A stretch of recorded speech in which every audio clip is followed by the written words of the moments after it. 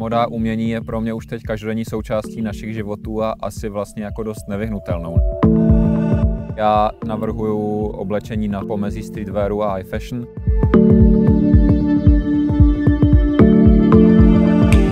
ta inspirace fakt přijde úplně jako vždycky a přijde všude. Takže ono jako to není tak, že bych se teď přepnul, že jdu teď hledat inspiraci, ale vlastně stačí mít oči otevřené a potom si myslím, že ty věci přichází sami.